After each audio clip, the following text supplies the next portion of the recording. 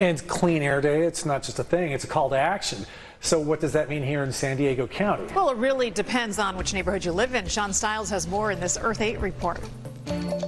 As we mark the third annual Clean Air Day here in San Diego, I had the opportunity to talk to David Flores with the Environmental Health Coalition and San Diego County Supervisor Nathan Fletcher about the state of air quality here in San Diego.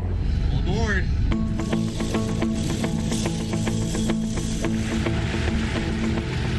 When it comes to air quality, we might be America's finest city for some communities, but not for all. And the reality is, as a city and as a community, we got to care about the air quality for every child in every neighborhood. One of the most impacted is Barrio Logan. Some neighborhoods have better air quality. This particular neighborhood, Barrio Logan, has eight times the rate of other neighborhoods. And the 93rd percentile of the dirtiest air of the entire state of California.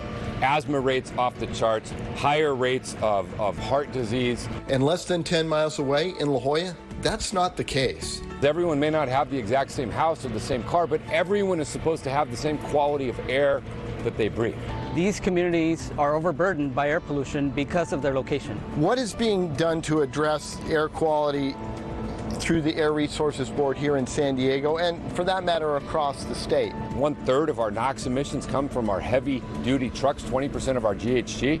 We do that through our at berth regulations. When you see trucks hooked up, ships hooked up to the dock, we're trying to make sure that those are cleaner while they're at berth, while they're here. What is environmental justice and how should it be applied in the situation when it comes to air quality? Environmental justice is the right of every person and community to live, work, and play in a clean and healthy environment. Because we're never going to be one as a city or one as a region when we have such tremendous injustice and imbalance between things as simple as the water you drink and the air that you breathe.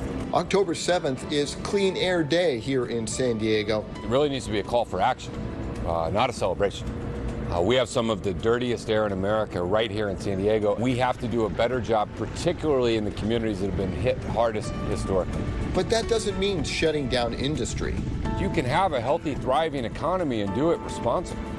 Uh, this is not an insurmountable task, but it does require us to do things different than the way we've always done them. So half glass full, half empty time. How can we help support uh, cleaning the air in the most polluted parts of our county because we understand we're all going to benefit and eventually that process will reach us. To put the challenges in perspective, Supervisor Nathan Fletcher quotes President Kennedy. I'm an idealist without illusion. So I am idealistic that, that we in America as country as, as wealthy as ours, uh, with all the technology we have, of course we can find a way to make sure the air is, is clear and is clean.